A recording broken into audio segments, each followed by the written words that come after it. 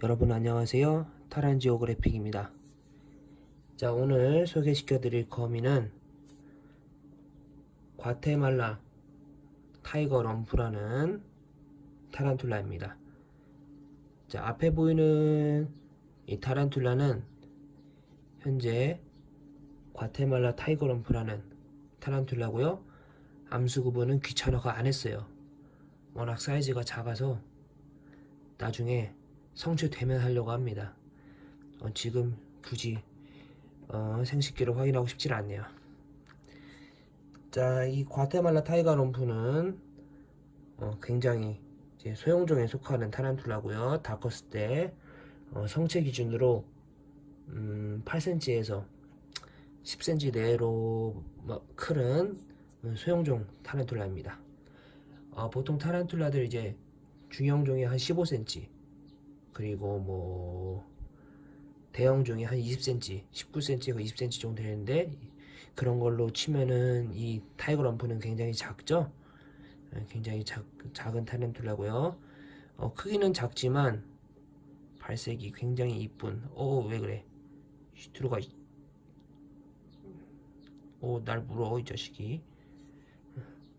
음, 크기는 작지만 굉장히 색깔이 밝고 아름다운 그리고 꼬리 쪽에 이제 호랑이를 연상시키는 이 발색이 매력적인 타란툴라입니다. 자, 이 여러분들이 이제 어, 거미를 좀 공부하셨던 분들이라면 좀 헷갈릴 수 있는 게 이제 Guatemalan tiger rump랑 이제 코스타리카 tiger rump가 있는데 이 둘의 이 name을 학명을 헷갈려 하시는 분들이 많아요. 어, 그래서 말씀드릴게요. 우리나라에는 이제 코스타리카 tiger rump는 거의 없습니다. 제가 어, 이 절지 생활을 하면서 코스타리카 타이거럼프를 본 적이 없어요. 그리고 뭐 주변에도 키운다는 걸 본 적은 없는 것 같습니다. 어, 일단 시중에는 많이 풀려 있는 게 과테말란 타이거럼프고요. 어, 둘이 비슷해요. 그냥 산지 차이고요. 어, 발색 차이가 조금 있습니다. 발색 차이가 조금 있고요.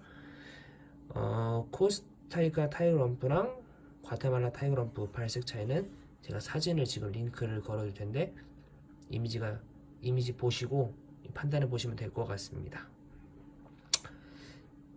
자, 이 tiger rump 같은 경우는 음, 일단은 초보자분들이 키우시기에는 굉장히 인내심을 필요로 하는 거밉니다.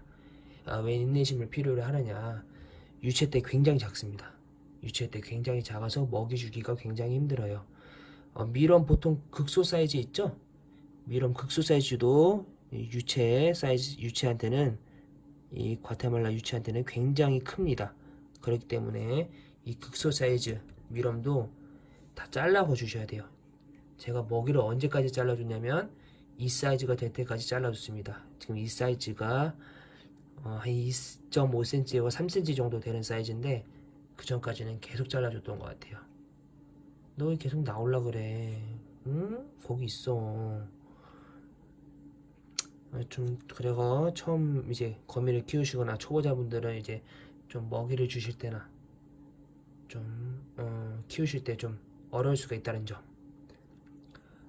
어, 대신 성장 속도가 이제 어, 빠른 편입니다. 성장 속도가 좀 빠르기 때문에 키우는 재미는 있어요. 워낙 작아서 별로 커지는 느낌은 안 들지만 그래도 탈피할 때마다 크는 모습을 보면 좀 뿌듯합니다. 왜 갑자기 거미줄 치니 너? 먹이도 없는데? 일단 먹이를 먹이 한 마리 줘볼까요? 먹을까? 먹이를 먹을 수도 있을 것 같은데 제가 극소 미럼을 하나 줘보겠습니다. 요즘 먹이를 미럼을 만들어 가지고 제가 번식을 하고 있어 가지고요. 먹을까? 또 영상 찍는데 한번 먹어줘야지.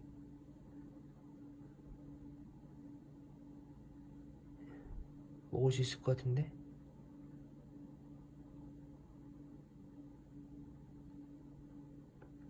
안 먹나 보네요.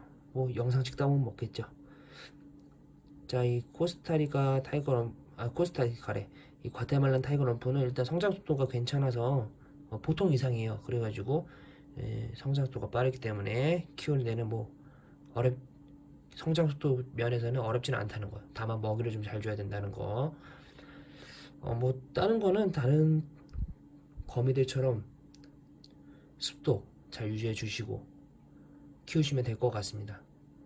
어, 뭐 크게 사육장을 크게 할 필요가 없어요. 왜냐하면 이 크기가 워낙 작기 때문에 어, 나중에 성체가 돼도 어, 어, 그, 지름 한 15cm, 15cm, 15cm에서 20cm 안쪽이면 뭐 알아 다 거기서 완벽하게 사육이 되기 때문에 그 성체가 되기 전까지 뭐 그렇게 큰 통에 사육할 필요가 없습니다.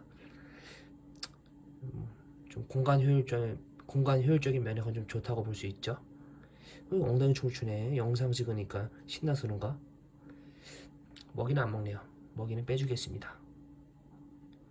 이 과테말라 tiger rump는 위협을 받으면 엉덩이를 치켜드는 그런 습성을 지닙니다. 그리고 위협을 가하면 엉덩이를 오씨 나왔어 이 자식이 들어가 들어가 들어가 들어가 잠깐만요 들어보내고 아이고 씨. 이따 넣어야겠네요.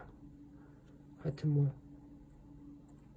그래 이렇게 구경하려 여기부터 가지고 하여튼 그런 습성이 있고요.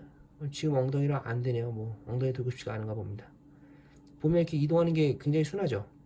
빠른 거미가 아니라서 순한 순한 거미입니다. 순한 거미라서 뭐 키우는데 키우는데 어렵지는 않고요. 이따 이 자식 넣어줘야지. 이거 너무 산만하네. 한 번씩 키워보시기에 좋은 타란툴라입니다. 기회 되시면 키워보세요. 요즘 뭐 매물도 많고 굉장히 키우기 어, 쉽게 구할 수 있는 거미라서 음, 가격도 가격도 저렴하게 형성되어 있고 키우기 좋습니다. 저는 다음에 또 다른 영상으로 함께 찾아오겠습니다 요즘 이렇게 하나둘씩 개체들 이 거미들 소개하고 있는데 제가 사실 거미가 많아요. 그래가지고 거미들 위주로 소개를 하는 거고요. 어, 기회되면 전갈이랑 뭐 진해는 장수진해랑 엉진해밖에 없지만 일단 뭐 전갈도 소개를 하는 시간을 가져보도록 하겠습니다. 중간중간 제 사용 노하우도 올릴 테니까 영상 많이 봐주세요. 음, 다음에 또 찾아오겠습니다. 안녕